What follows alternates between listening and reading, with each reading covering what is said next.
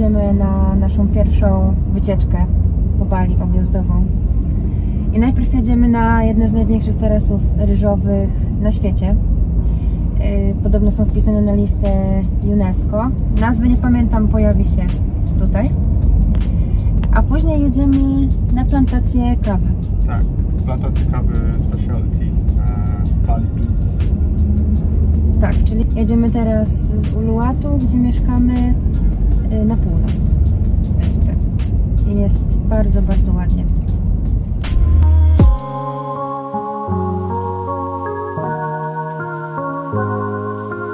Kierujemy się na północ wyspy. E, Po drodze właśnie te tarasy ryżowe znajdują się mniej więcej w centralnej części. No i myślę, że tak naprawdę zejdzie nam cały dzień podróży. Bo I nocujemy też na. Pogoda jest ok. Może nie jest to najpiękniejsza pogoda, jaka tutaj y, może się trafić, ale przynajmniej nie pada. A mamy porę deszczową, także jest to naprawdę duży plus, bo miało padać y, cały styczeń. A pada tak raz na jakiś czas. W zasadzie ten tydzień jest taki dosyć deszczowy. Mam- Mam nadzieję, że jeszcze się rozpogodzi.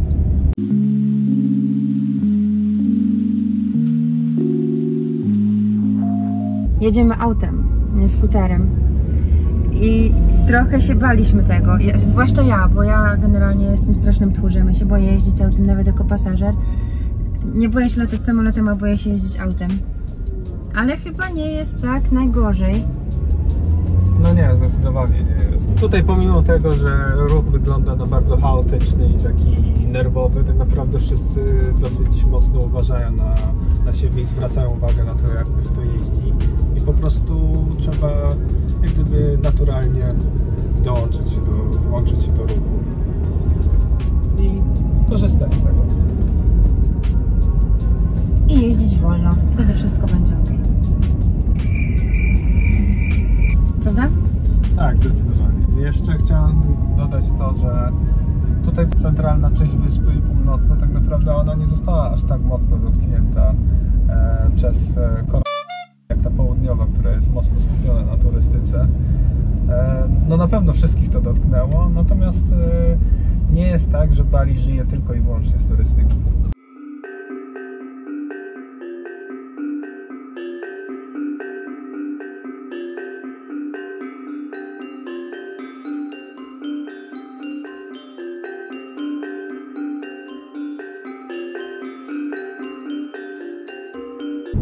A ja jeszcze tylko dodam, że jest to wycieczka, która jest moim prezentem urodzinowym.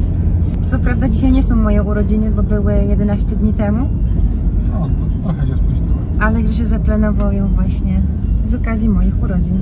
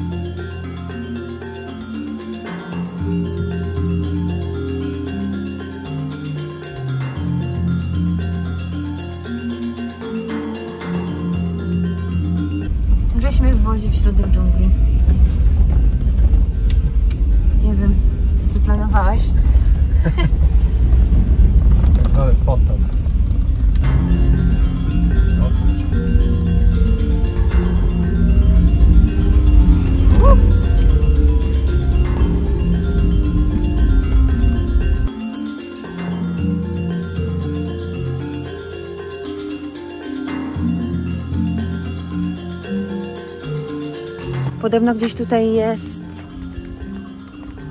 żaba. Kawiarnia w lesie? W dżungli? Ja się deszczowy. W lesie deszczowym. Tak się przynajmniej nazywa. Mamy 300 metrów, zobaczymy. Pewnie będzie zamknięta, ale zawsze to jakiś spacerek. No i jest bardzo ładna trasa. Hiking? W Japonkach? Po polsku? Jednak zrezygnowaliśmy z glampingu. Jak Ci się podoba? Fajnie, tylko nie podoba mi się idzie Japonkach po tym użytkowanym betonie.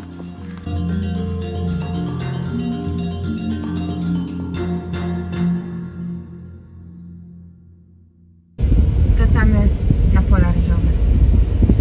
Jesteśmy w samym centrum Bali, jedne z największych tarasów ryżowych na świecie. No i spacerujemy. Jest tutaj taka trasa wyznaczona.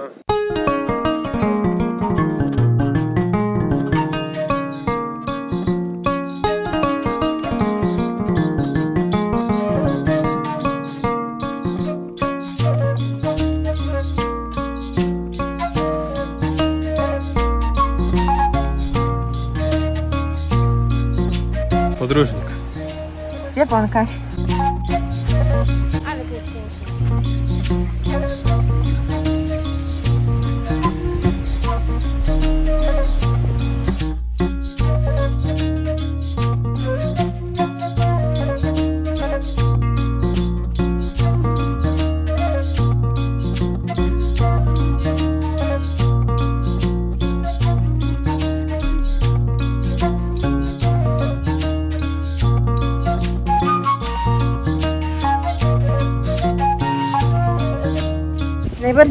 popularne wśród turystów tarasy ryżowe to są tarasy ryżowe Tagalalang. I byliśmy tam dwa lata temu rzeczywiście. I są piękne, ale te są jednak dużo bardziej spektakularne. Jest duża różnica. Lepiej przystosowane do, do zwiedzania, żeby pospacerować sobie. Te drugie tarasy ryżowe, one są bardziej nastawione na to, żeby tam podjechać, Zrobić wskoczyć, sobie zdjęcie na Instagram. zrobić sobie zdjęcie na Instagram, wskoczyć na huśtawkę, nie wiem, wypić kokosa, e, zrobić sobie zdjęcie z rolnikiem za drobną opłatą, a tutaj widać, że to jest po prostu miejsce, w którym normalnie rzeczywiście jest, jest ten ryż hodowany, uprawiany raczej. A oprócz tego są zrobione też specjalne trasy dla turystów, żeby nie deptali po prostu po, po polach, Po samych polach. Mimo tego, iż pada, jest ciągle bardzo ciepło.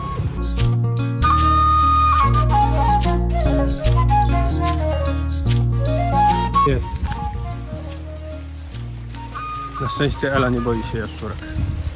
Nie boję się tych pająków, dopóki nie są jadowite, ale boję się karolków. Ale coraz mniej. Człowiek musi się zacząć przyzwyczajać niestety.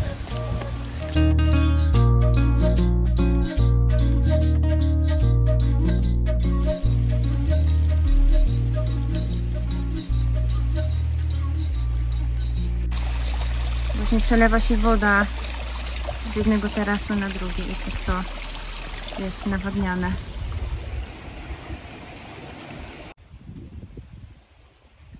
Strasznie ciepło. Nawet przed chwilą mówiliśmy, że dobrze, że zaczął deszcz padać, bo jest trochę chłodniej, trochę nas uchładza. Kto by pomyślał, że cieszymy z deszczu na wycieczce. Jaki ładny piesek. Już kierujemy się do wyjścia i musimy się pospieszyć, bo nam zamkną plantację kawy. Nie zdążymy jej zobaczyć, jeśli się nie pospieszymy. Ale chyba, panie przewodniku, wszystko powinno być ok. Nie, kontaktowałem się z przewodnikiem od e, plantacji kawy i mówi, że nie ma problemu. No, no to Mamy jakąś godzinę drogi przed sobą, zanim do- dotrzemy. piękne chmury nad górami.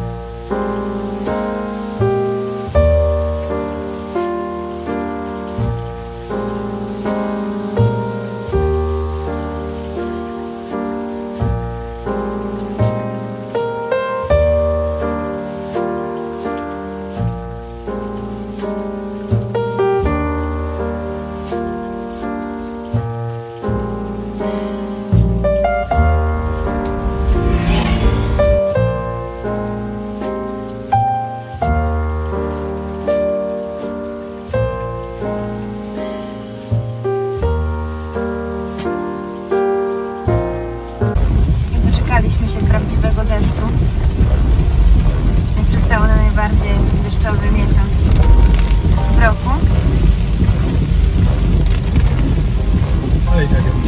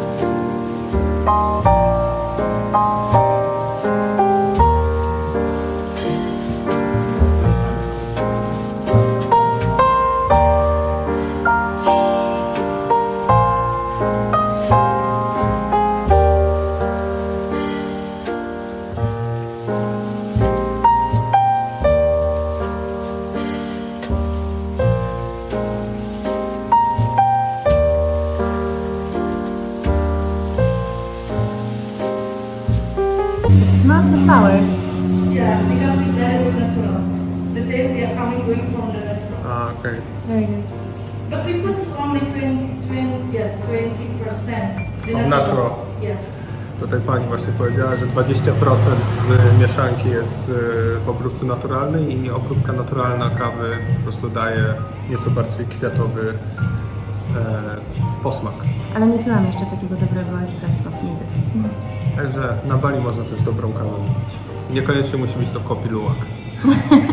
Like this one, natural process, and this one black honey process, and then full wash process. Full wash yeah? Yes, like maybe you know that the, uh, the natural, we pick the red cherry and then dry with the skin, Yeah. and it's make up for the taste a little bit more sweet and then a little bit sour and fruity because they are coming from the skin and then the glaze, you know, glaze like uh, water in glaze. cherries. Yes, that's make it taste a little bit sweet. Sweeter, yeah. Yes.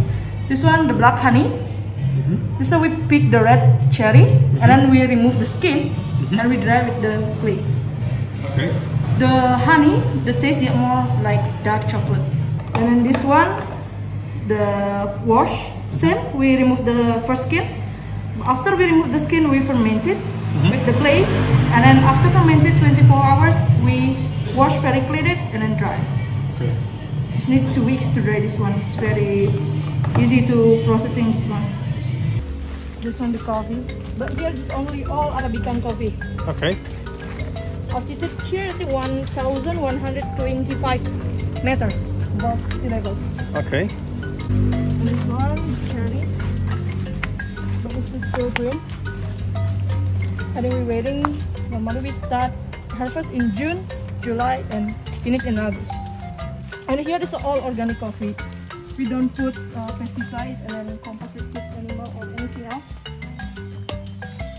use the shading tree, the leaf, Okay. Ah, and okay. then use the leaf to compost. You can sell it as a jungle experience as well. Yeah.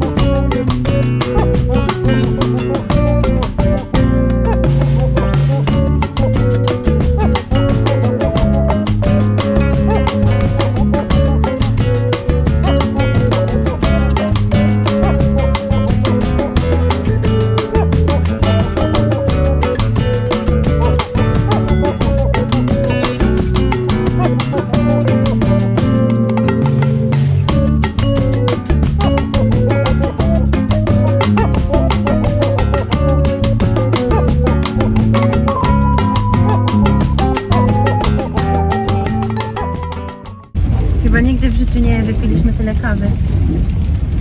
Ale bardzo fajne miejsce. Bali Beans Coffee naprawdę polecamy. Zwłaszcza jeśli jesteście fanami specialty coffee albo chcecie spróbować. Bo Bali to nie tylko kopiluak,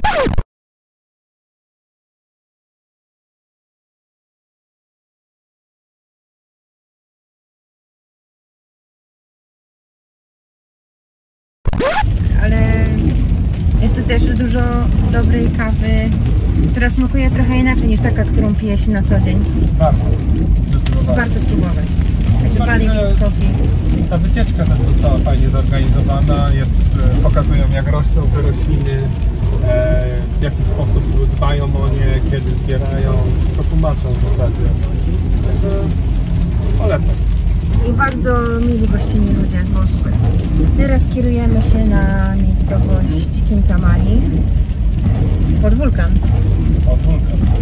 i będziemy szukać tam nocnego.